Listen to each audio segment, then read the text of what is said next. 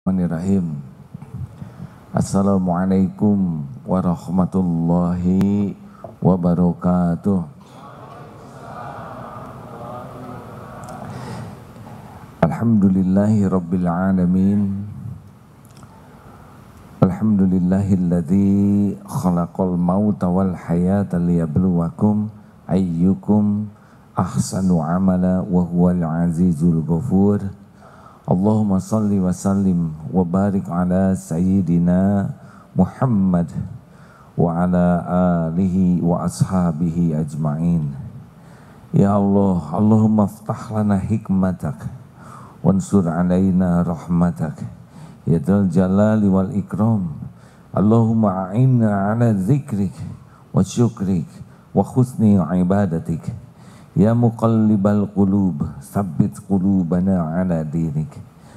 Allahumma nawwir qulubana bin nuri hidayatik kama nawatal ardu bin nuri syamsik abadan abada bi rahmatika ya arhamar rahimin. Duhai Allah yang maha menatap berkahi majlis ini ya Allah. Catatkan kami menjadi ahlul yakin padamu Jadikan siapa pun yang hadir engkau hujamkan hati yang yakin dengan janji jaminanmu. Golongkan kami menjadi hambamu yang cukup hanya engkau pelindung penolong kami. Hasbunallah wa ni'mal wakil, ni'mal maula wa ni'man nasir. Amin ya Allah ya Rabbal Alamin. Alhamdulillah. Apakah Allah subhanahu wa ta'ala sedang menatap kita hadirin? Yakin? Apakah malaikat hadir di tempat ini? Yakin? Alhamdulillah. Apakah tempat yang kita duduki saat ini nanti akan bersaksi di hadapan Allah? Ya, semuanya bersaksi. Alhamdulillah.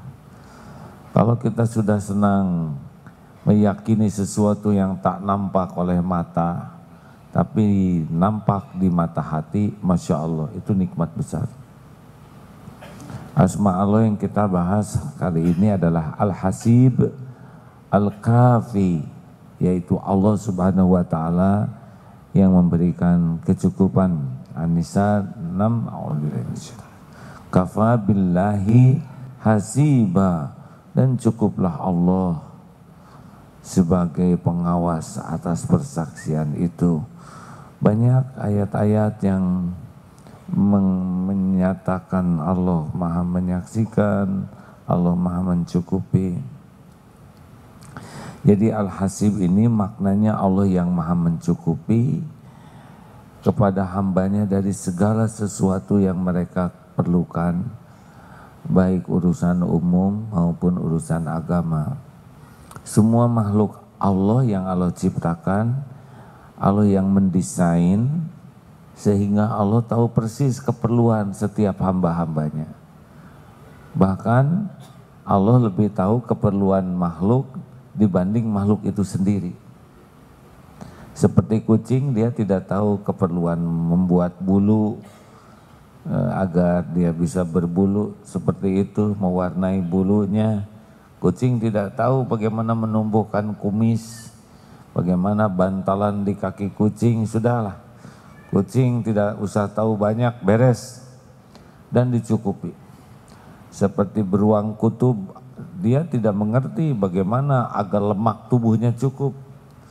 Bagaimana dia mencari makanan yang berada di balik bongkahan es. Allah siapkan, penciumannya 5 km bisa tercium. Jadi disiapkan semua infrastrukturnya sehingga es yang tebal itu bisa dijebol dengan sekali mengangkat badan langsung. Kenapa? Karena memang makanannya oleh Allah disimpan di bawah bongkahan es. Kenapa kita tidak bisa mencium jauh? Oh, stres hadirin. Kalau saya bisa mencium jarak jauh, radius uh, berapa meter ruangan ini ya. Saya sudah pingsan ya, sudah pulang kantor, belum sempat mandi, lalu setiap aroma tercium oleh saya, oh, Masya Allah, sudah cukup segini. Siapa yang Eh,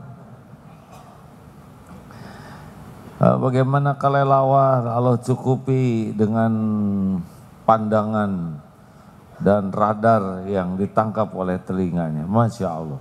Bagaimana Allah menciptakan ikan paus yang begitu besar. Kebutuhannya sampai 4 ton makanannya sehari. Allah ciptakan desain mulutnya yang sekali menganga itu ikan-ikan kecil tuh bisa dimakan. Coba kalau mulut ikan paus kecil, aduh pegal sekali ya. Dia makan 4 ton, bisa keram rahang.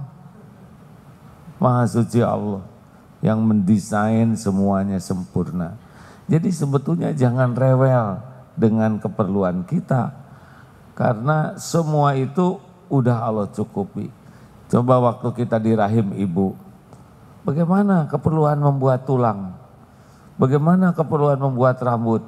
Jangankan kita janin, Ibu aja tidak tahu bagaimana menumbuhkan tulang-tulang, menyambung tulang dan segala komponen tubuh kita.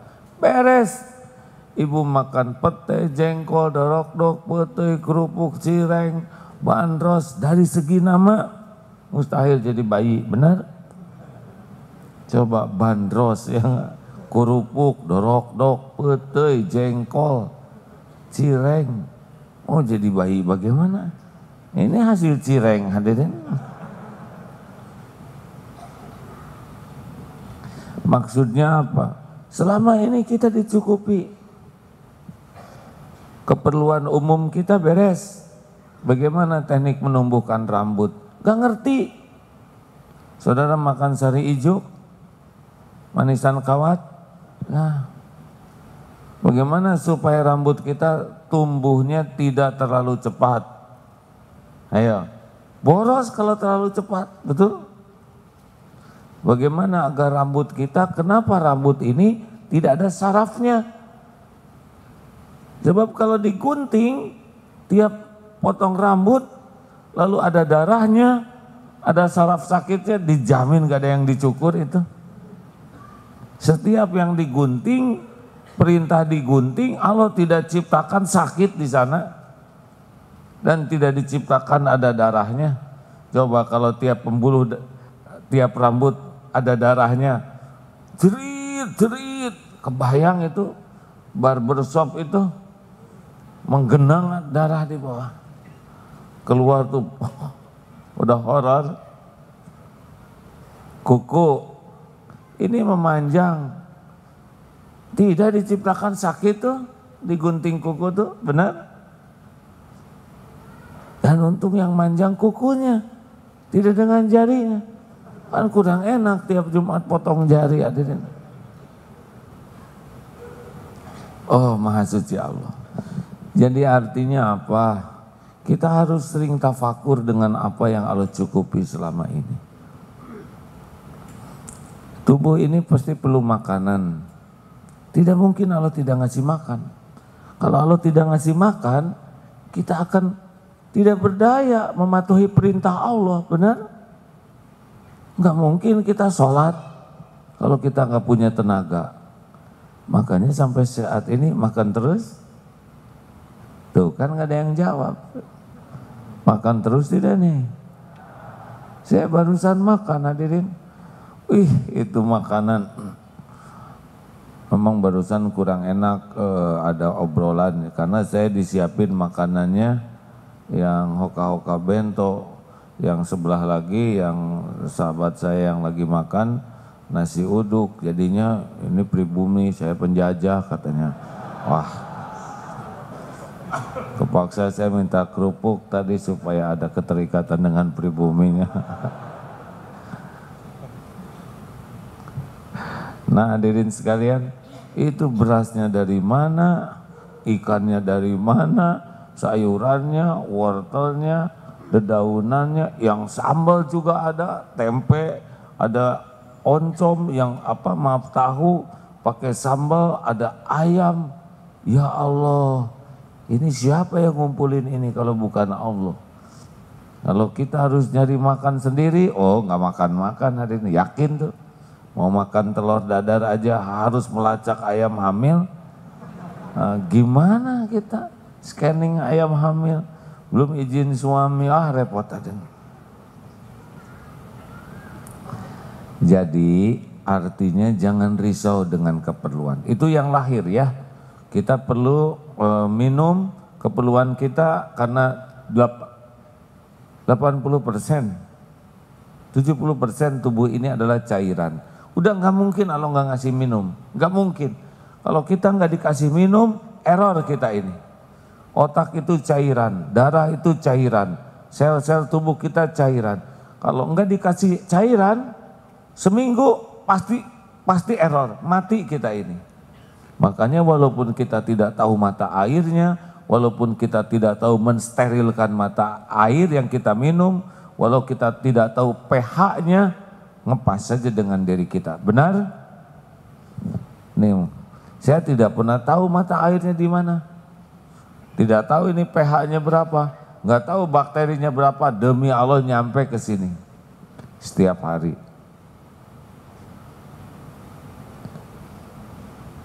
Ada makanan, cukup.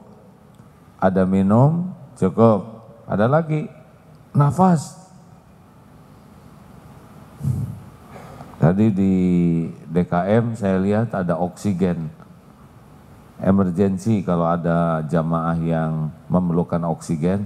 Oh ini bagus ini.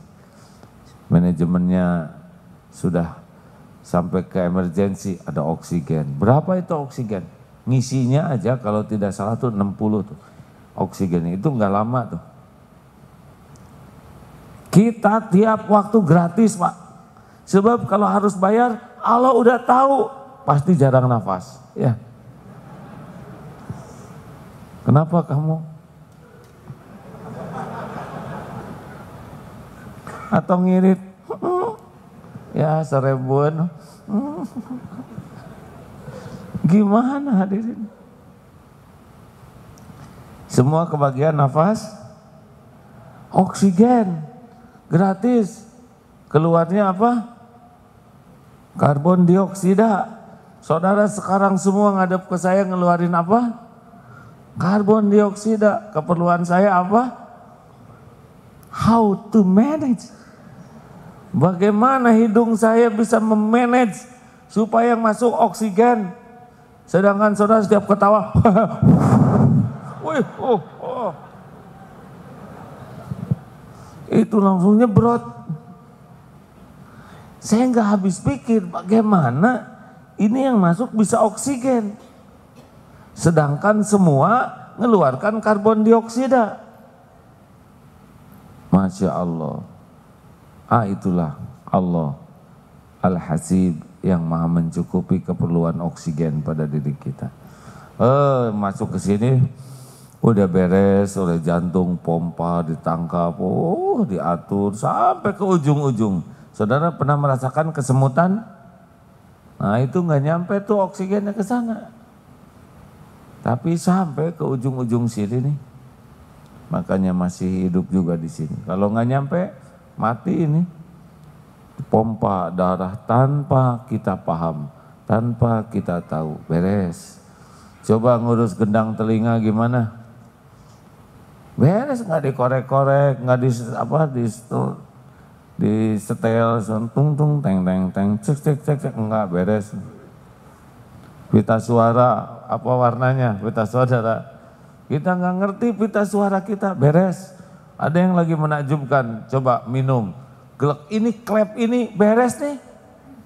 Coba kalau klepnya nggak puguh masuk ke paru gelek apa paru paru paru penuh.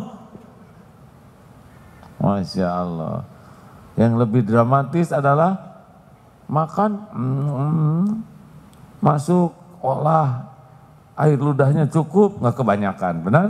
Kalau kebanyakan akhwat nggak ada wibawa dong, ya. ya, ya. Presiden, ah. kebayang tidak kalau air ludah kebanyakan? Komandan upacara, nggak ada wibawa, ngacai semua benar? Menteri sedang rapat ya pak. Itu di catatannya ada bahasa lah juga tahu. Untung pas benar? Coba kalau kebanyakan, warnanya juga diatur, pas lah. Coba kalau merah gitu. Halo, nah, jarang kepikir kita kayak gini ya. Masuk punya, hmm, bolak balik beres ke sini, dah rileks. Kerja di sini siapa yang ngerjain ini? Giling, diperas, gerak peristaltik, di lambung, dihancurkan dengan enzim tertentu Uh, beres masuk ke usus, disedot. Jadi kita tahu apa-apa. Nanti aja laporan. Sudah waktunya. Baik. Coba kalau nggak diingetin, ya. Udah masuk-masuk, Pak sudah keluar. Oh udah, maaf ya. Nggak ada wibawa hadirin. Dosen lagi ngajar. Pak dosen sudah Pak. Oh iya. Ke mana-mana pakai pampers. Jarang kita mikir ini nikmat dari Allah, benar? Masya Allah. Tapi ada nikmat yang lebih besar, yaitu nikmat nah, nikmat dicukupi oleh Allah, nikmat iman. Jadi kan ada hardware, ada software, ya. Kita juga banyak keperluan lain selain keperluan lahiriah ini, keperluan ketenangan. Oh, kalau galau Gak dikasih tenang menderita hadirin. Punten ya, kita juga ada software yang namanya marah. Ada yang namanya sayang, cinta, sedih, gembira. Itu kita nggak ngerti. Kenapa jatuh cinta? Kenapa lihat si dia jadi kunang-kunang seribu satu malam? Kenapa lihat tembok biasa aja? Harusnya kau tembok. Enggak, ini serius hadirin. Ini software ini kalau nggak diatur dengan pertolongan Allah bisa ngaco nih kita. Nafsu ya, kita kan ada nafsu nih. Kalau nggak ditolong oleh Allah berapa orang yang hidupnya diperbudak nafsu. Allah juga menciptakan syahwat. Ada yang udah punya jodoh, ada yang belum. Coba kalau nggak ditolong oleh Allah melotot terus Jodoh belum ada kan error. Tapi oleh Allah dibikin tidur, dikasih mimpi. Itu bagian daripada Allah menolong. Hadirin, kalau kita nggak minta tolong ke Allah, ini bermasalah nih. Keperluan yang nggak kelihatan ini. Ya, benar tidak? Kenapa ketawanya gitu akhwat? Pasti banyak keperluan tuh. Jadi ada dalil surat At-Talaq ayat 3. A'udzu billahi minasyaitonir rajim. Wa may yatawakkal 'ala Allahi fahuwa hasbuh. Innallaha balighul amri qad ja'alallahu likulli syai'in qadra. Barang siapa yang bertawakal kepada Allah, niscaya Allah akan mencukupkan semua keperluannya. Sesungguhnya Allah melaksanakan urusan yang dikehendakinya. Sesungguhnya Allah telah mengadakan ketentuan bagi tiap-tiap sesuatu. Tenanglah ya. Jadi sekarang gimana nih keperluan? Jadi kita akan dicukupi oleh Allah keperluan lahir batin, keperluan informasi, keperluan data itu kalau kita hakul yakin tawakal kepada Allah. Ah, saya cemburu ke suami, jangan ngebuka-buka HP suami. Pertama, nggak tahu passwordnya, ya. Yang kedua, dilarang. Nggak boleh itu, walau ke suami, walau ke istri, jangan. Jangan Pak. Lelaki jangan suka meriksa-meriksa HP istrinya. Ya, tenang, Allah tahu apa isinya. Kita berbaik sangka sambil yakin Allah akan menjaga. Kalau Allah mau kebuka tuh. Dia lagi ngecas, tiba-tiba masuk, kan nggak ketahan tuh. Ternyata istrinya dapat undangan umroh, gitu ya. Baik-baik hadirin husnuzon dari si dia. Nah, dia itu adalah mertua ya. Hadirin, Akhwat, istri berbaik sangka ke Allah. Pasrahkan urusan ke Allah. Allah nanti ngurus. Percayalah, nggak ada yang tersembunyi bagi Allah. Tidak ada yang tersembunyi, tidak ada yang tidak diketahui. Daripada kita menyelidiki, mending pasrahkan ke Allah. Hakul yakin Allah janji mencukupi. Mungkin cukupi dengan data, mungkin dicukupi dengan informasi, mungkin dicukupi dengan ketenangan atau dibalikan hati suaminya. Hai sekarang kita tahu memeriksa takdirnya Allah kasih tahu. Nggak selesai itu kalau kita ngegantungkan diri sendiri. Hadirin dengar ya, ini penting. Tidak ada yang bisa kita lakukan kecuali dengan pertolongan Allah. Nggak ada solusi apa pun yang bisa kita lakukan sendiri kecuali Allah menolong. Kita ini la haula wala quwata illa billah, yakin itu. Kita nggak ada daya kecuali Allah menguatkan, kita nggak punya apa-apa kecuali Allah yang ngasih, nitipkan, kita juga bodoh kecuali Allah yang nuntun. Makanya kalau ada masalah, ngandelin diri, ngandelin ilmu, ngandelin pengalaman, ngandelin relasi, ngandelin ikhtiar, itu nggak akan berhasil. Kita harus ikhtiar sungguh-sungguh, tapi tidak boleh mengandalkan ikhtiar. Yang kita andalkan siapa? Allah. Ikhtiar itu ibadah. Hasil Allah yang nentukan. Makanya jangan pakai strategi-strategi licik, zolim, tipu menipu, nggak usah, lempeng aja, ikhtiar yang lempeng. Ya, seperti misalkan ini mau nikah, naksir seseorang, kemudian bawa bunga, ya. Tapi bunganya juga ngambil dari ondangan, nggak bilang-bilang. Terus pinjem jaket teman supaya kelihatan keren. Ini penuh strategi gini, ya. Terus ngasih ke adiknya oh, jajanan. Nanti pas ketemu dengan si dia, loh, ini kan jaket kakak saya Rupanya kita pinjam ke teman, nah temannya itu pinjam ke kakak dia. Jadi kan aib hadirinnya. Udahlah, jangan lo gay ya, jangan lo bagaya. Lempeng-lempeng we, just the way you are. Sekalinya saya bahasa Inggris teh hargai dong hadirin pokoknya. Serius. Serius hadirin, nggak usah banyak neko-neko strategi ini, strategi itu yang tidak di jalan Allah. Percuma. Karena Allah yang bisa menentukan. Benar? Ini serius hadirin. Enggak usah pakai strategi-strategi yang tidak di jalan Allah. Percuma. Allah kok satu-satunya yang menentukan segala-galanya. Lempeng aja, lempeng. Kalau salah ngaku. Kamu papa kamu salah ya? Ya saya salah. Ngaku aja tenang ya Allah hanya engkau. Kamu mau pulang kalau kayak gini. Tenang ya hanya engkau yang mengatur pulang atau tidak ya Allah. Ya Allah saya ngaku saya salah. Sakit atau diamin. Ya Allah saya ngaku saya, saya minta maaf. Udah nggak kuat mau pulang. Ya Allah hanya engkau yang bisa menahan. Hanya Andelin Allah karena Allah yang ngebulak balik hati. Ini serius hadirin, bukan karena saya pengalaman ya. Saudara pasti penasaran kan? Iya, harus ngandelin Allah.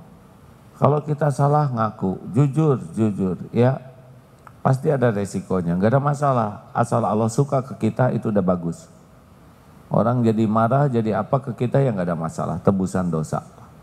Karena kita kan banyak dosa yang mungkin hanya bisa ketebus kalau kita disakitin orang, ya terimalah sambil istighfar terus. Nanti kalau udah waktunya, udah bersih, tinggal dibalikin aja hatinya oleh Allah. Ingat kisah yang anaknya pemabok itu? Ibu-ibu anaknya pemabok,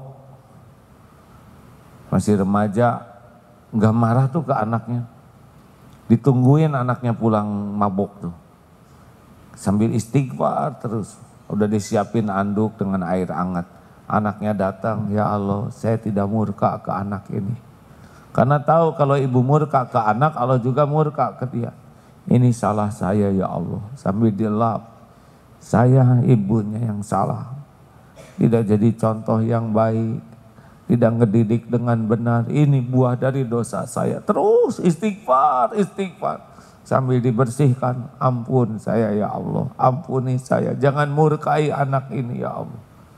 Izin Allah dibalikan tuh hati anak pada waktunya ada waktunya. Mungkin pahitnya itu tebusan dari dosanya, ya. Nah hadirin, ada satu yang sangat penting yang ingin disampaikan dalam kesempatan ini, yaitu kita sering menganggap musibah itu adalah berkaitan dengan duniawi. Hilang uang musibah, hilang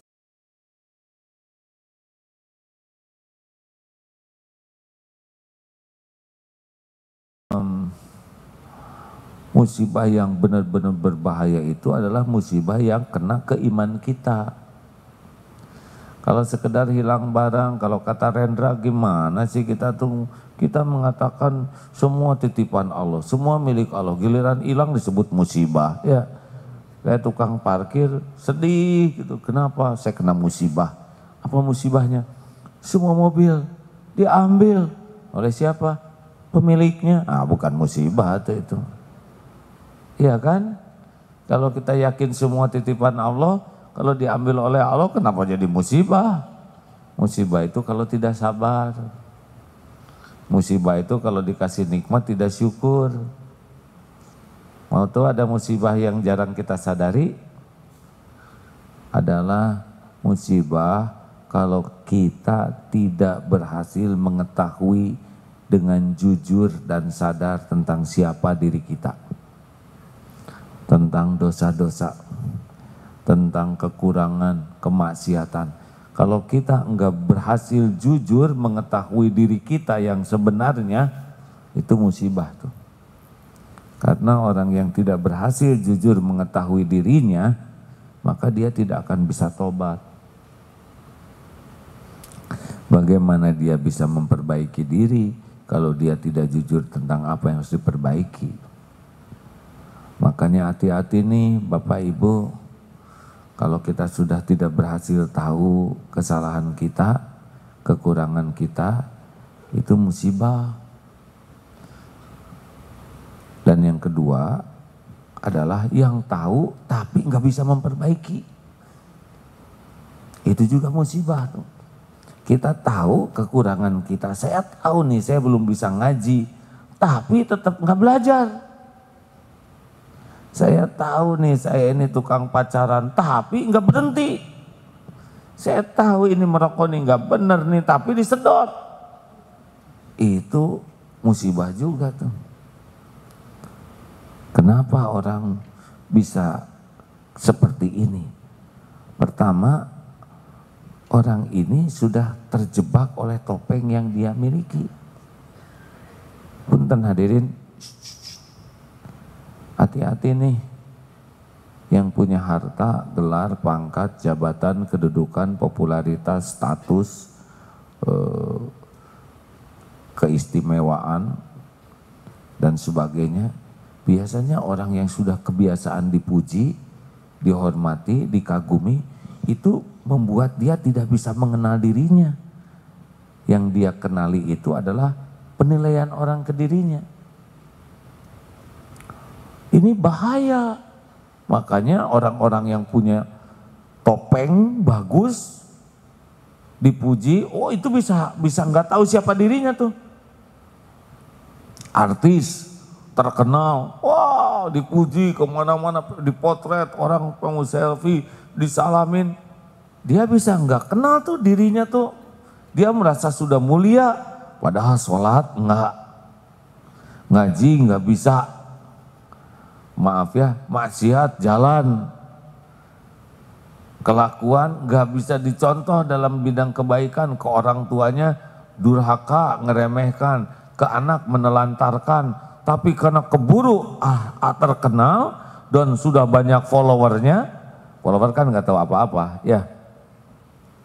Itu bisa membuat dia tuh nggak bisa mengenal siapa dirinya, merasa udah ngangkat aja. Sama yang gelarnya panjang. Misalkan IR, DRS, DRA, oh LGBT ini maaf. Ini, ini, ini, H titik, oh, saya nggak ALM, beres. Selesai kalau ALM. Tapi sebelum dipasang ALM, wih itu bisa ngangkat itu Pak. Kamu S berapa? Saya S teler. bisa udah uh udah merasa jauh karena dia gelarnya panjang. Padahal boleh jadi di sisi Allah tidak ada apa-apanya tuh. Jarang ke masjid, ngajinya nggak bisa, sodakohnya pelit, eh, tahajud melewat, saum bobol, haji, enggak. Oh, belum lagi maksiatnya jalan. Ini biasanya ketipu, makanya hati-hati ya yang punya jabatan. Apalagi kalau jabatan di kantornya, wih, udah lupa aja siapa dirinya. Jelas nggak nih hadirin? Hati-hati, posisi saya, oh sama. Posisi Ustaz Sofar, itu juga bahaya Ustadz ya Al-Mukarram disalamin, didengar, itu bisa ngangkat itu. Padahal di sisi Allah ini niatnya benar enggak nih Ustadz ceramah? Yang diomongin dilakukan enggak?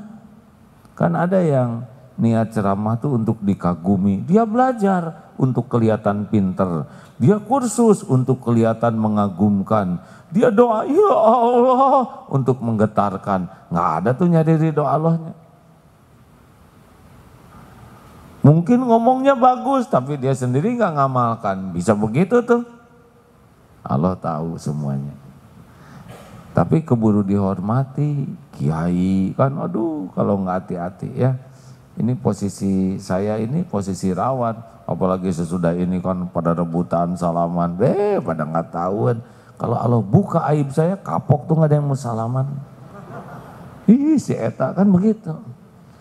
Ini sebentar lagi reuni nih saya nih ya SMA. Biasanya pada minta maaf teman-teman. Oh, maaf ya, udah gak nyangka bakal jadi kiai gitu. Terutama yang jahil-jahil dulu pak, takut kualat ya. Tapi ada juga yang lihat saya senyum-senyum, itu grup terdekat yang tahu modal saya. Nah. Terutama yang dulu diapelin tuh orang naon game lah nyawa modal gitu. Hadirin sekalian hati-hati dengan topeng ya. Yang punya harta, gelar, pangkat, jabatan, kedudukan itu bukan kita itu bungkus. Ingat teori bungkus kemarin? Segini kalau air berapa? 300 ganti pakai jus segini berapa Cika tuh hadirin mumpung pertanyaannya gampang jawab jangan saya nanya sendiri bungkem begitu. Berapa? Dasar jarang jajan ya. Tergantung jus apa dulu. Untuk wajah saudara 10 ribuan lah ya. Ganti sekarang dengan madu asli. Gelasnya sama botolnya sama. Lebih mahal ganti dengan comberan, gak ada harganya. Jadi sebetulnya bukan topeng yang membuat kita bernilai itu, isi. Dua, kenapa orang gak bisa jujur melihat dirinya? Karena gak pernah ada jeda. Selalu dengan kesibukan dan bangga sibuk tuh maaf jadwal saya padat sekarang sekarang itu mah nggak bagus orang yang tidak punya jeda dalam hidupnya mah pasti bebal harus ada jeda. Sholat itu intinya adalah jeda. Membuat kita bisa mereview, mengevaluasi dari subuh sampai duhur. Sholat, tenang, mikir. Ya Allah, hari ini saya ngapain aja? Astagfirullah. Kenapa tadi saya matanya nggak kejaga? Astagfirullah, astagfirullah. Kenapa tadi saya ngomongin orang? Kenapa ngobrol saya ngelebih-lebihin itu kan bohong, saya kan nggak gitu. Kenapa tadi saya pamer amal di kantor gini-gini? Kenapa kamu ngantuk? Kan ciri ahli tahajud. Kenapa gitu ya? Terus Quran, kenapa saya sengaja Quran di depan orang? Benar ya pengen ngaji atau pengen ketahuan orang lagi baca Quran? Kenapa tadi saya waktu orang-orang pada makan, ya Allah, ampunilah mereka semua. Senin Kemis ini tidak ada yang saum selain saya. Jangan binasakan mereka ya Allah. Ujub, baru juga mulai saum setengah hari ya. Oh kalau nggak hati-hati, kenapa tadi saya selfie di mobil orang? Yang punya mobilnya ada di dalam ya. Oh serius hadirin? Coba evaluasi jam 3 yang suka broadcast itu ya.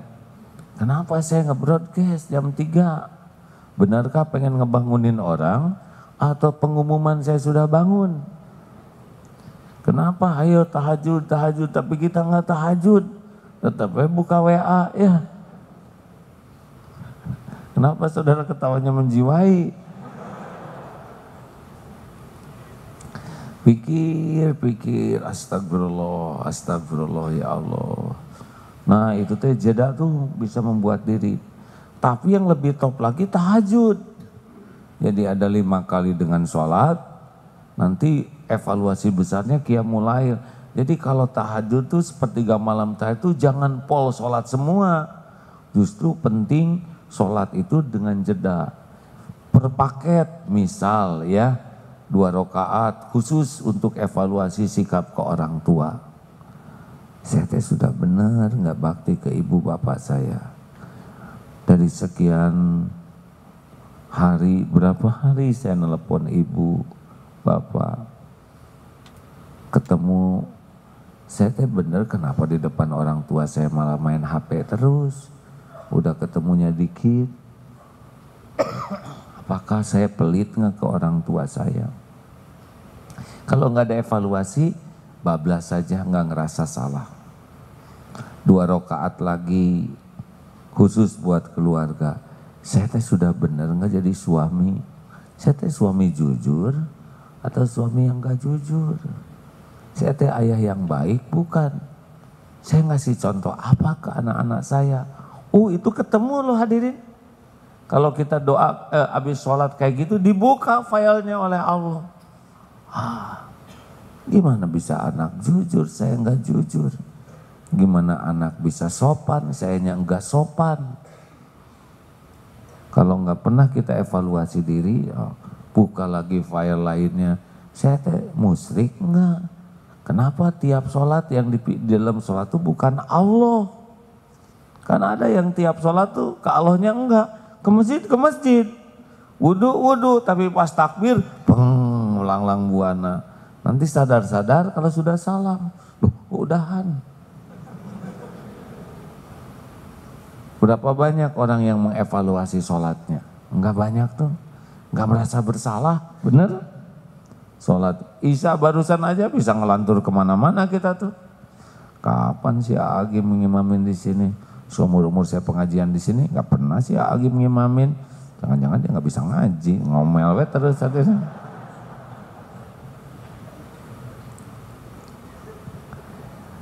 Serius. Nah evaluasi juga banyak yang harus kita tafakuri ya.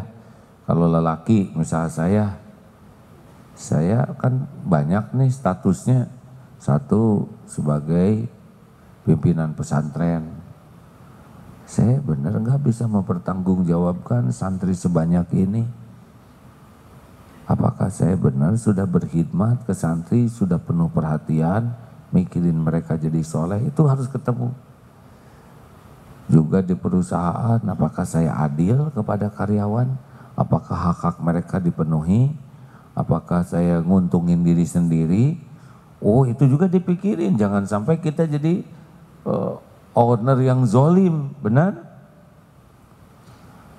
Zakatnya dibayar enggak? Selaku suami, apakah saya suami yang adil? Karena saya kan ada dua tim ya Biasa aja, biasa aja. Eh, dibilangin biasa malah senyum lagi. Nggak usah ngebanding-banding Arifin Ilham udah tiga, enggak usah. Ini dua aja saya tanggung jawab enggak di akhirat nih. Saya emang ngebayangin hisabnya saudara mah yang istrinya satu masuk saya lama nih. Tunggu dulu ini gimana urusannya. Belum lagi anak sebelas. Oh itu dihisap satu-satu. Wah saya ke anak udah bener enggak ini? Sejauh mana perhatian saya ke anak? Apakah anak saya sudah kuat nggak tauhidnya? Siap nggak dia ngarungin hidup? Itu jadi bapak aja udah nyesek tuh hadirin. Belum lagi kuda, ya. Oh iya, kuda nggak bisa jalan-jalan, ya dia di kandang. Bagaimana gizi kuda, ya? Apakah rumputnya cukup enggak? Kandangnya enak enggak? Dihisap itu pak. Iya, itu kan kuda nggak punya nggak bisa bikin tempat tidur sendiri. Suatu saat pernah diundang di satu tempat, kudanya yang punya kuda bentol-bentol kudanya. Ini kenapa kuda bentol-bentol begini? Karena tempat itunya, alas tidurnya katanya kurang bersih. Saudara nanti akan dituntut di sisi Allah. Itu kuda nggak bisa ke dokter, ya. Oh iya, kuda bentol-bentol karena nggak bersih, pasti yang punyanya dituntut. Iya hadirin, Makanya ah saya emang gak melihara kuda, mending melihara kucing. Kan sama ah. Ke kuda sayang, ke kucing sayang. Emang sama dalam beberapa hal. Tapi ada yang berbeda. Kalau naik kuda itu gagah, naik kucing jolim. Hadir.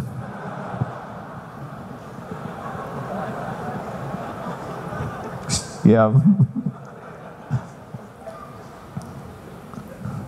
Jangan sekali-kali saudara naik kucing ya sangka penjahat. Kenapa saya ngomongin ini hadirin?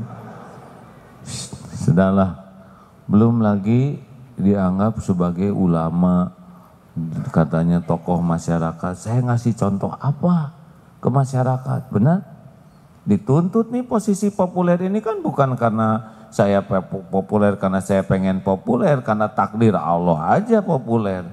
Populer kan tidak identik dengan mulia, Posisi saya ini bahaya nih. Kalau saya ngasih contoh jelek yang niru banyak, akumulasi dosanya.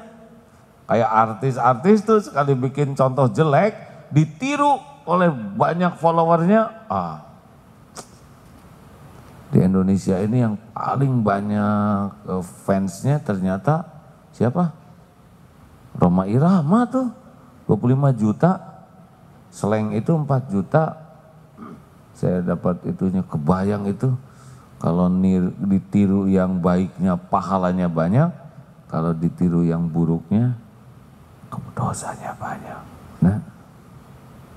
Udah mendingan kayak saudara aja lah nggak terkenal ya. Bahkan istri juga ini siapa? Suami. Oh ya keterlaluan banyak orang yang pengen terkenal tapi kalau enggak pakai tafakur, berapa banyak itu menyesatkan orang, betul? Punten ya, ada orang ciuman zina karena bukan suami istri, itu dosa. Tapi ada yang ciuman di TV, di film, itu kan ditonton begitu banyak, itu dosanya pasti beda. Ah, ayolah kita tafakuri dua rakaat ini. Saya teh musyrik enggak? Saya teh munafik enggak? Saya sombong tidak? Harus tuh hadirin kalau enggak gitu mah eh, hidup tuh enggak pernah tahu apa yang harus diperbaiki. Jelas? Ayo banyak waktu untuk itikaf Eh ibu-ibu kalau punya suami teh jangan suruh pulang terus bosen ya. Suruh itikaf seminggu sekali mah. Mas itikaf mas di masjid.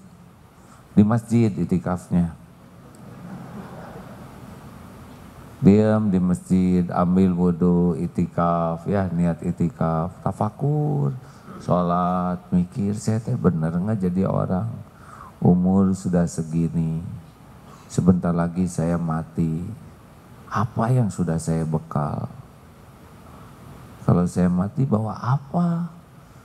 Gak ada rasanya selain kain kafan. Sibuk tiap hari rapat, meeting ini. Wah, sholat lewat, ngaji lewat. Benar? istighfar cuma tiga kali itu juga lagi jengkel. Astagfirullahaladzim, astagfirullahaladzim. Jauh dari sunnah hadirin.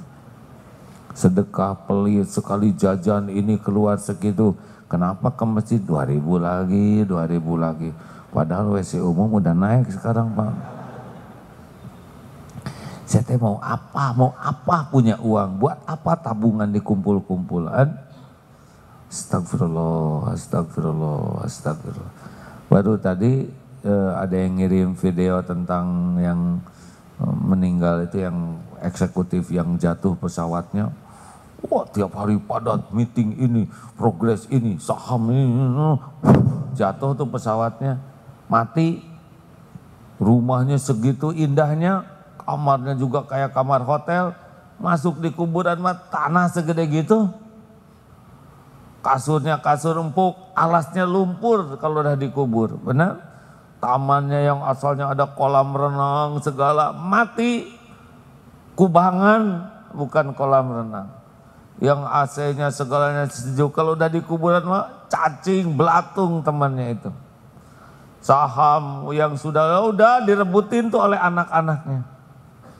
Istrinya masih cakep, muda, nangis emang waktu meninggal Sekian bulan kemudian nikah sama yang lain. Halo. Sing Rido, Pak. Namanya juga udah mati, Pak. Tidak keluar juga susah dari kuburan. Apa bekalnya? Nah tafakur hadirin. Saya kalau mati apa gitu. Bekal dosa paling. Ngaji jarang Kenapa WA mah kuat berjam-jam, Quran mah enggak kuat itu. Satu solawat itu dibalas oleh Allah sepuluh kali solawat. Solawat kepada Rasulullah SAW sekali Allah membalas sepuluh kali. Bayangkan kalau Allah sudah mendoakan hambanya itu mah udah pasti diijabah. Kan Allah yang ijabahnya, benar? Sekali solawat dibalas dengan dua aja udah hebat. Sepuluh kali oleh Allah didoakan. Tapi udah jarang kita sholawat kepada Rasulullah SAW. Sibuk, sibuk, sibuk. Seakan-akan urusan itu penting, penting. Bahkan sebelum sholat aja bertarung tuh dengan WA tuh. Kodko mati sholat, kodko mati sholat. Dibalas tuh. Selesai sholat juga. Assalamualaikum, Assalamualaikum. Subhanallah, subhanallah. Dua jari hadirin. Seakan dunia tuh ke Allah tuh hanya sisa. Ini harus dievaluasi. Benar? Salah seorang anak sibuk sebelumnya, bisnis. Tapi sekarang dia sudah menemukan sesuatu yang baru, yaitu Al-Quran.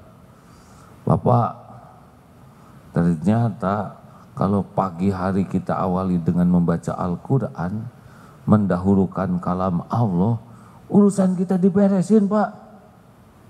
Biasanya kan pagi-pagi itu strategi ini, strategi itu.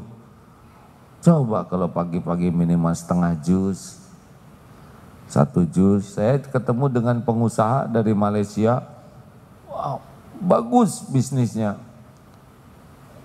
Pagi, pada subuh satu jus, pada maghrib satu jus, dua jus tuh sehari. Dan kalau ketemu orang tuh pak, di masjidnya, mesti dikasih tuh santri itu uang. Masya Allah, nggak berkurang rezekinya. Karena senang mendahulukan Allah. Kita mah susah buat ngaji itu. Ya, habis waktunya itu oleh Mas WA dan Mbak WA. Sampai bercahaya wajah tuh ya. Walaupun ditutup selimut, tetap bercahaya wajahnya. Halo? Oh, ini menarik. Tapi saya juga belum bisa mengamalkan. Di pesantren itu ada program daurah kolbiah. Satu bulan. Biasanya yang kerja cuti, yang kuliah selesai cuti. Satu bulan. Ketika ditanya, apa yang dirasakan sesudah ikut pesantren ini? Misalkan baru seminggu, Alhamdulillah apa? Lepas dari HP, karena nggak boleh pegang HP. Betapa bahagianya katanya lepas dari HP. Kita jarang menyadari bahwa kita diperbudak oleh HP itu. Nempel aja terus ya, lengket. Mau tidur juga di Bangun tidur,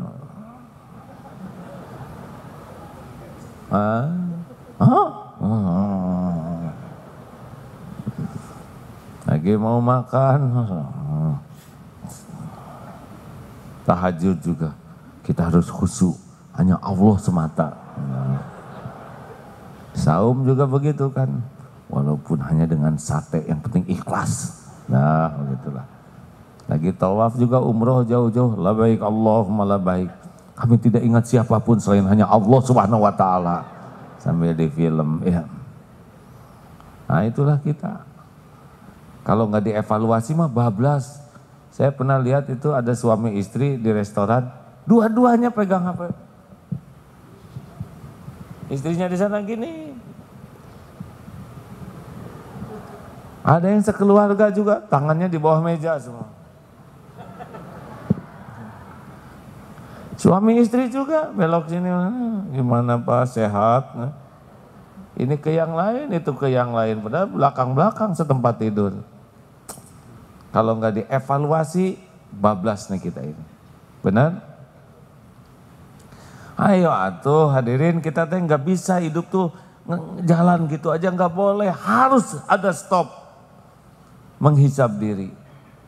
Hasibu anfusakum qabla antuhasabu hisab dirimu sebelum dihisab. Kalau tidak salah itu kata Umar bin Khattab. Ya kan Ustaz ya? Hisab dirimu sebelum dihisab. Nah ini yang rada-rada membuat kita kurang hati-hati itu ya setuju tidak nih Ayo nanti bangun malam pikir tafakur. Saya teh bener enggak jadi orang teh? Saya teh bener enggak jadi anak? Saya bener enggak jadi ibu? Jangan sampai bablas hadirin. Kita tidak punya waktu evaluasi diri kita ketipu oleh topeng yang kita pakai. Cukup itu saja.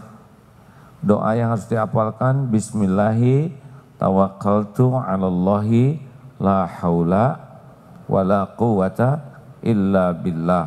Maka lalu dijawab kepadanya wa hudita wa. Lalu dikatakan kepada orang yang doa itu adalah engkau telah diberi ketunjuk, engkau dicukupi dan engkau dipelihara. Jadi orang yang mengatakan bismillahi dengan nama Allah saya bertawakal tu alallahi la haula wala quwata illa billah maka itu langsung Allah janji orang yang tawakal seperti itu akan ditunjuki hudita wa kufita ditunjuki, dicukupi dan dipelihara oleh Allah Subhanahu wa taala. Makanya jangan pernah keluar kecuali dengan doa itu ya. Coba ulangi doanya. Bismillahi tawakkaltu 'alallahi la haula wala quwata illa billah. Pokoknya ini yang keluar dari rumah langsung doa itu dengan yakin insya Allah akan ditunjuki. Baik hadirin ada 10 menit untuk tanya jawab, jarang kita tanya jawab. Jangan mempersulit orang lain ya. Ada pertanyaan? Kalau tidak ada pertanyaan, Bapak nanya. Apa? Malam-malam nanya. Oh pengumuman dulu ya. Tanggal 8, ulangi 17 November, hari Jumat, malam, Sabtu, itu ada itikaf di Masjid Pusdai Bandung dalam rangka Milad Darut Tauhid, ulang tahun Darut Tauhid. Kalau saudara bisa datang malam Jumat, malam Sabtu bagus. 18 November itu ada gerak jalan sehat dari Pusdai ke Gasibu, nggak jauh sih paling satu kilometer. Uh, itu kalau saudara mau ikutan silahkan. Banyak anak yatim dan veteran insya Allah akan. Kalau tahun kemarin 50 ribu lebih. Sekarang kaos yang disediakan 30 ribu. Nanti saudara kalau ada kuponnya di bawah, kalau saudara infak 30, saudara akan dapat kaos, nanti ditukar, ikat kepala, ya, dan kalender, tinggal ditukar. Nanti kalau mau ke Bandung sama-sama, disiapkan bis dari sini. Uh, bias tahun kemarin 4 bis, 5 bis, itikaf, lalu ikut gerak jalan. Hari Sabtu itu libur ya, sehingga jam 9 10 sudah selesai. Nanti ada banyak para ulama, juga tokoh-tokoh yang kita dengar uh, ya saran-sarannya. Begitu nasihat-nasihatnya. Silakan pertanyaan Pak. Bismillahirrahmanirrahim. Assalamualaikum warahmatullahi wabarakatuh. Makasih. Waalaikumsalam warahmatullahi Nama saya Wowo dari Balikpapan. Uh, menyambung yang Ustadz sampaikan tadi bahwa di dalam sholat itu sering sekali kita tidak bisa khusyuk karena memang selalu setiap sholat muncul masalah-masalah yang banyak sekali apakah itu dari pekerjaan, dari kehidupan sehari-hari, anak, istri, dan lain sebagainya. Justru pada saat sholat itulah muncul yang tadinya lupa jadi ingat di sholatnya. Habis sholat lupa lagi. Sukses berarti Pak.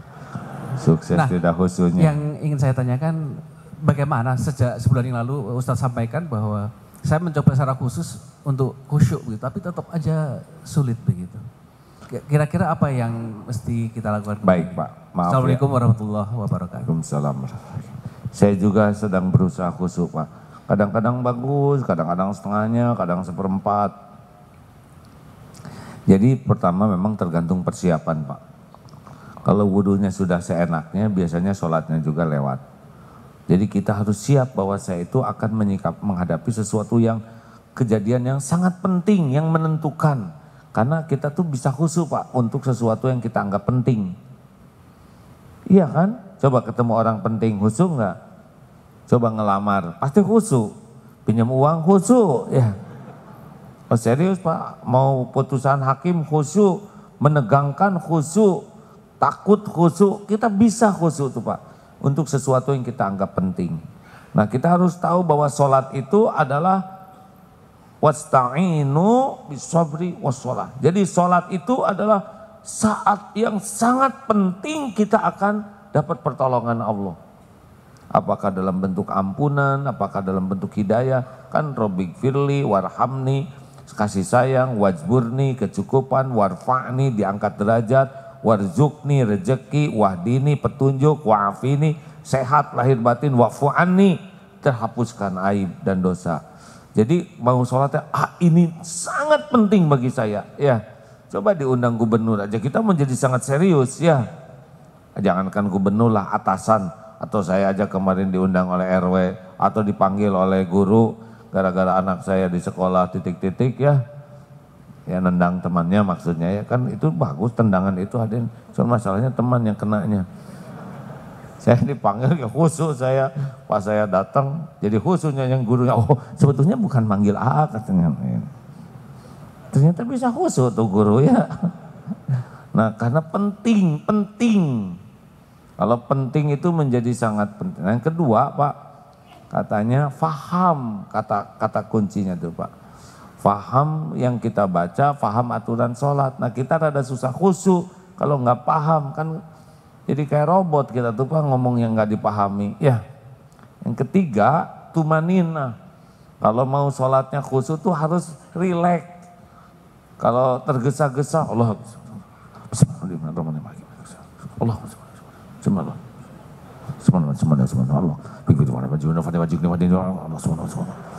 Ya gimana khusus? Ya kita aja pinjam uang nggak kayak gitu. Coba ibu ngomong ke suami, Pak minta duit sekarang teman kamu buat teman Boro-boro dipinjam kasih uang mau dikepret. Cobalah Pak tumanina ya Pak ya. Ah ini mah yang saya coba gitu Pak. Pertama saya ini ngadep kepada Allah yang maha melihat, maha mendengar, maha dekat dan maha menentukan segalanya. Kata kuncinya di maha menentukan teman. Ini saya akan menghadap Allah yang menguasai semua persoalan saya dan memberi jalan keluar yang menguasai keperluan saya dan bisa mencukupi. Jadi Kunci sekali ini tuh. Pokoknya momentum yang sangat penting gitu Pak. Makanya kalau sudah tumanina, terutama fatihah dan kebagainya, bisa diibaratkan membuka brankas Pak. Pernah lihat nggak di di film-film tuh ya, eh, yang membuka brankas tuh, para penjahat tuh ya. Ceklek, ceklek, ceklek, ceklek, ceklek, ceklek.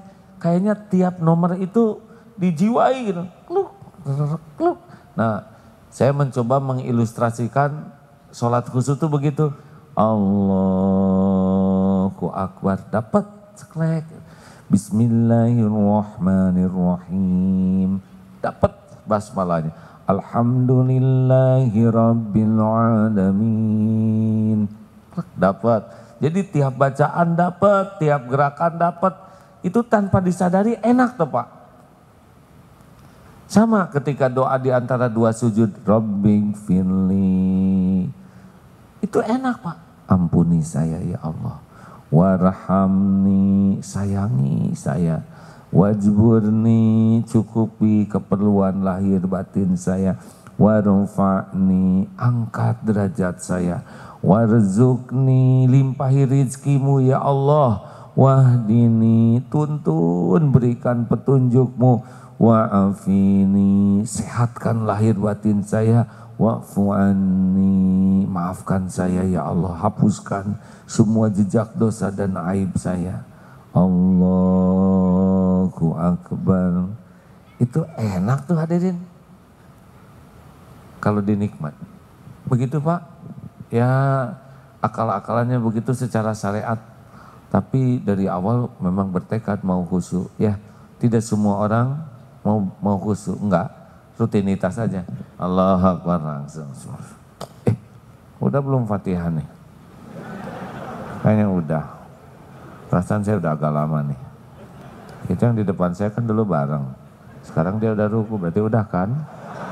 Allah. Gitu. Ruku juga tidak jarang lagi ruku atahiyat atah itu. Sadar-sadar ketika telunjuk asyur. Nah di sini. Untung ada yang lihat sampai Allah. Berapa banyak yang sujudnya lama? Tahu kenapa? Mikir. Sujud ke satu, kedua nih, ke satu, kedua nih. Jangan-jangan ini sujud ke satu. Ah, itu teh Allah teh tahu tuh kita sholat kayak gitu. Untung gak kejatuhan speaker tuh pak.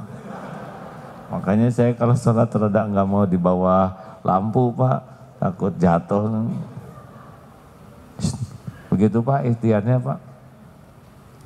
Jadi penting paham, tumanina. Begitulah kurang lebih Pak. Terakhir, akhwat ada yang menanya satu aja. Udahlah nggak usah nanya ya. Oh ini tanyanya di sini. Udah nyuruh lagi ini. Masalah anak-anak. Pertanyaan Pak Uts. Saya menipelit atau sempurnakan yang Pak Us saya punya anak, anak saya punya, anak saya mengambil uang orang tuanya sendiri. Lalu saya sebagai orang tua marah kepada anak dan sumpahin anak sendiri. Dan istri juga kesal terhadap anak-anak. Dan akhirnya istri pergi meninggalkan anak-anak. Jadi habis dong.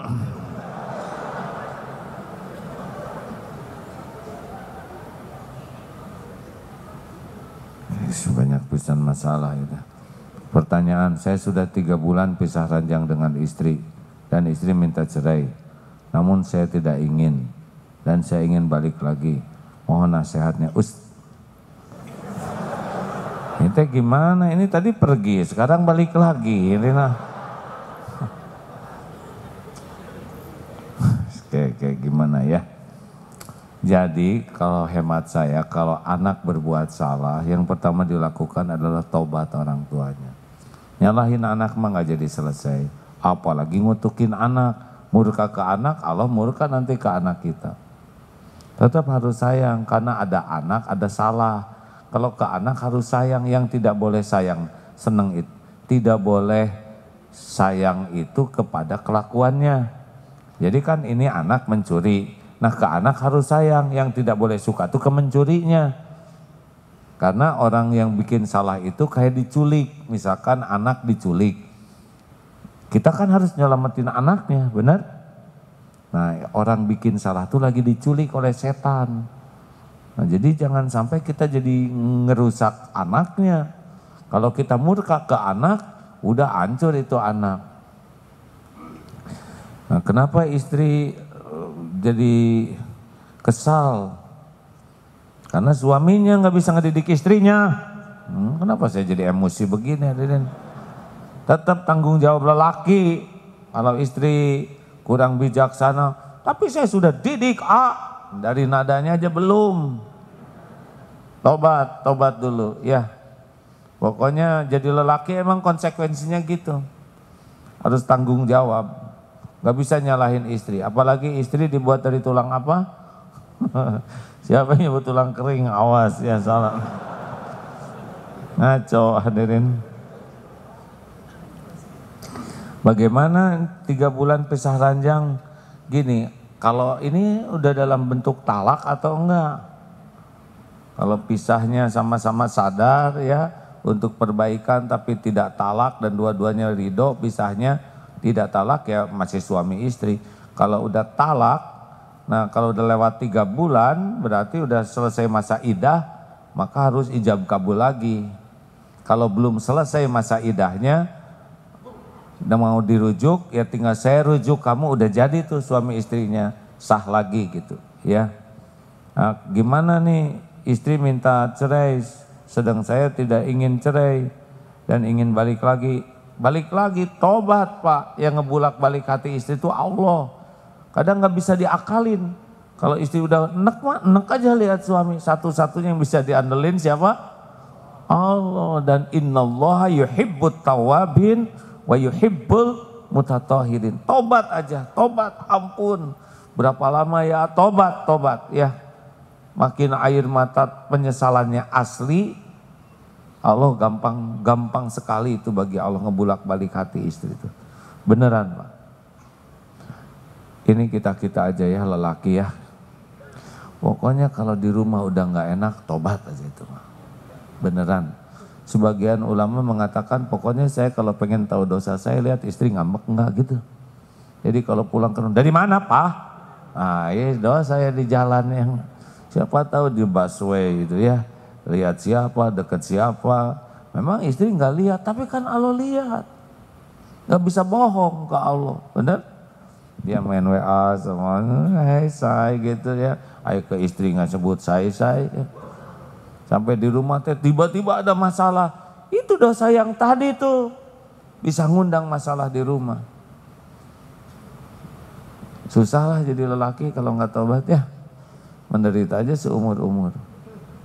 Apalagi jadi istri. Kata kuncinya mah tobat. Karena semua kepahitan diundang oleh dosa. Wa ma asobaka min sayyiatin famin nafsik. Begitu hadirin, saya tidak bisa memberi nasihat lebih ya kecuali awali dengan tobat. Masih ingat? Limaat, satu, tekad kuat dan bulat untuk ditolong Allah. Dua, perbanyak tobat, tiga, jauhi maksiat, empat, tingkatkan taat, lima, tebar manfaat. Dah cuman Allah yang bisa ngebulak balik hati siapa pun. Ah, sama anak juga nggak bisa diakalin. Kita pelototin juga malah pelajaran melotot ya. Katanya anak melihat orang tuanya sebagaimana orang tuanya melihat anaknya. Bu, kapan bikin PR? Sabar nak, nanti pada Isya. Udah Isya, Bu, Ayo dong bikin sabar, sabar. Kata ibu sabar, sabar. Jadi anak harus sabar tahu. Anak jadi dapat pelajaran sabar. Oh sabar tuh melotot yang ini juga lagi sabar bu. Coba itu. Nasihatnya kalau nggak cocok dengan kelakuan mah salah. Adalah banyak istighfar hadirin. Eh tapi ngomong-ngomong istighfarnya paten tuh ya. Beneran Pak. Saya kalau udah ada masalah gitu, udah udahlah tobat aja, astagfirullah, astagfirullah, pasti dosa, ini pasti dosa saya. Eh tiba-tiba lembut aja gitu, damai aja. Istighfar, istighfar. Ini teh saudara tenang-tenang amat sih, punya dosa enggak? Eh tenang kok gitu hadirin, punya dosa enggak? Sedikit atau banyak? Banyak atau banyak sekali? Nah tuh tenang wae kayak gitu. Ya ada asalnya mah nggak inget ah sebelum tanya katanya. Coba hadirin, ada yang naik motor nggak ke sini?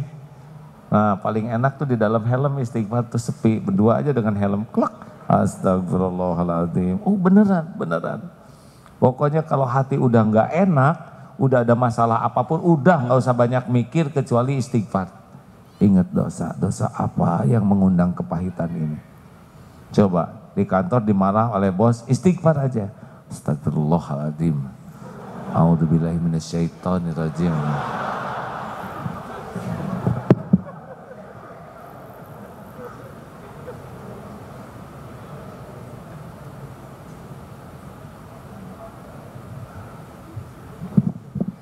Hadirin suasana negara kita teh sekarang teh saya teh lagi nggak senyaman dulu ya.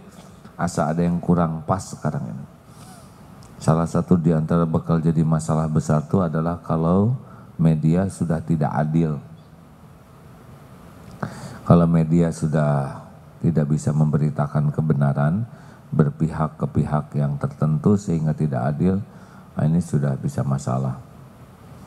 Akibatnya orang bakal lari ke medsos nanti ya. Orang lebih percaya ke medsos daripada media. Nah medsos sendiri yang bertanggung jawabnya kurang ya. Bisa menyebarkan itu juga lihat tuh ada beberapa tulisan Abdullah Gimnastiar. Padahal bukan saya yang nulis. Untung benar itu ya kata-katanya. Susah ngereposisinya tuh Pak. Makanya bijaksanalah eh, dengan situasi yang ada sekarang ini ya. Kuatkan ibadahnya, kuatkan zikirnya, jauhi maksiat supaya situasi apa pun kita tetap ditolong oleh Allah Subhanahu wa taala. Terima kasih sahabat-sahabat sekalian. Mudah-mudahan nanti tanggal 18 bisa di Bandung ya. Hari Sabtu usahakanlah ya.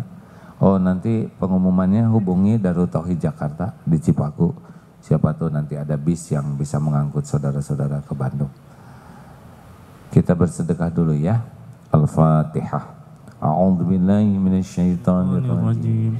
Bismillahirrahmanirrahim.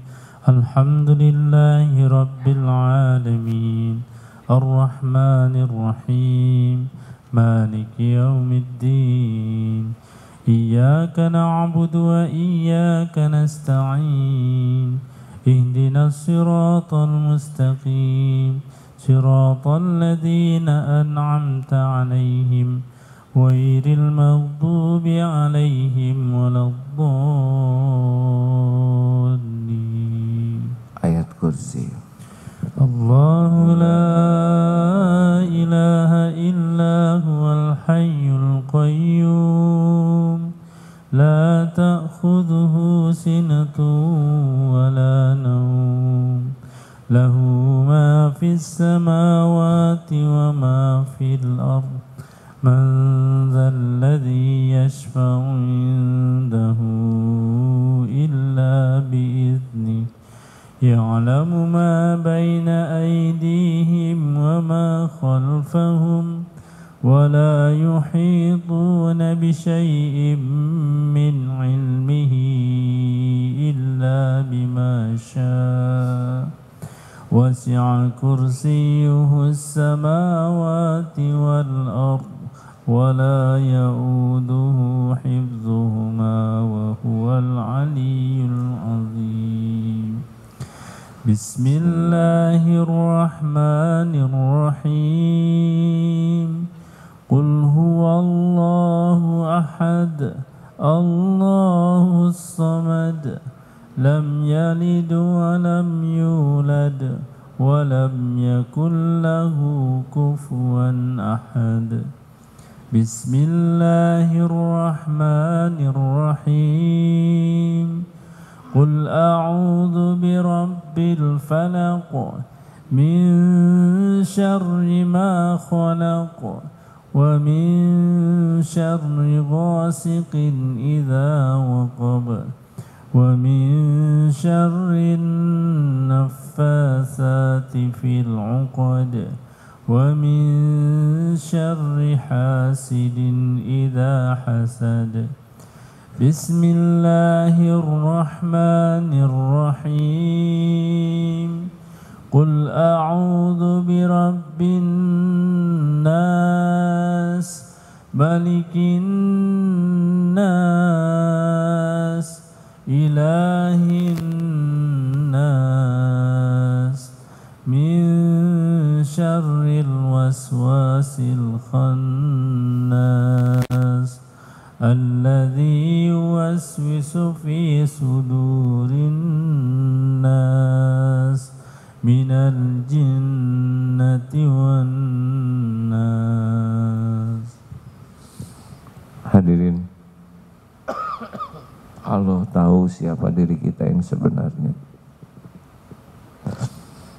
Subhanahu wa taala menyaksikan apa pun yang kita lakukan, tidak ada yang tersembunyi. Kita dihargai orang lain karena Allah masih menutup-nutupi aib, dosa, maksiat kita. Allah Maha Sabar, walaupun Allah tahu kita mengkhianatinya, melupakannya, jarang bersyukur. Bahkan karunia-Nya kita gunakan untuk berbuat maksiat. Tapi Allah masih menuntun kita di masjidnya. Selain Allah menutupi, juga Allah memberikan kesempatan kita taubat. Pertemuan ini adalah milik Allah. Allah yang mengadakan pertemuan ini. Setiap langkah kita digugurkan dosa, langkah lain diangkat derajat. Allah pun janji majelis ilmu, majelis zikir adalah salah satu tempat Allah memberikan ampunan. Bahkan bagi yang tidak sengaja hadir sekalipun. Allah maha baik, maha baik, maha baik. Walaupun kita datang dengan lumuran dosa, Allah memberikan ampunan yang tiada bertepi. Hadirin marilah kita istighfar sambil kita jujur. Allahumma salli ala Sayyidina Muhammad wa ala alihi wa ashabihi ajma'in. Astaghfirullahaladzim. Astaghfirullahaladzim. Astaghfirullahaladzim. Astaghfirullahaladzim Istighfarlah hadirin Sambil buka lembaran-lembaran hitam Lembaran-lembaran kelam Lembaran-lembaran kotor yang pernah dijalani. Astagfirullah Istighfar hadirin. Allah tahu apa yang kita sesali. Astagfirullahaladzim Istighfar yang punya masa lalu kelam. Yang punya masa lalu hitam. Istighfar yang selama ini punya Tuhan yang lain selain Allah Yang hidupnya musyrik menuhankan duniawi ini menuhankan nafsu, menuhankan manusia. Istighfar yang hidupnya munafik hanya membagus-bagus topeng, padahal isinya musuh. Yang hanya sibuk membagus-bagus bungkus demi pujian orang. Istighfar yang perkataannya sering bohong yang janjinya tidak ditepati yang sering mengkhianati amanah. Istighfar hadirin yang sering menyakiti orang tuanya.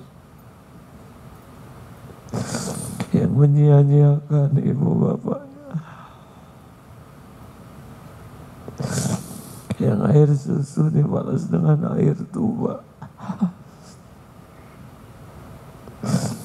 yang tidak pernah punya waktu untuk membahagiakan orang tua. Istighfar yang kikir kepada ibu bapaknya. Astagfirullahaladzim.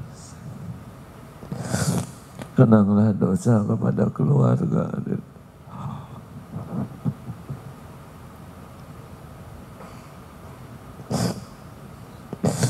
istighfar orang tua yang tidak amanah.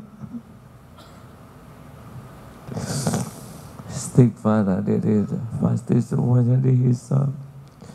Dosa yang terang-terangan, Ingatlah dosa yang sembunyi-sembunyi Yang dosanya berulang-ulang.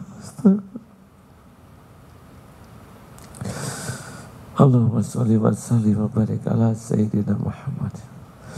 Ya Allah Allahumma ja'alna minat tawabin wa ja'alna minal mutatahirin wa ja'alna min ibadika salihin. Allahumma inna nas'aluka taubatan nasuha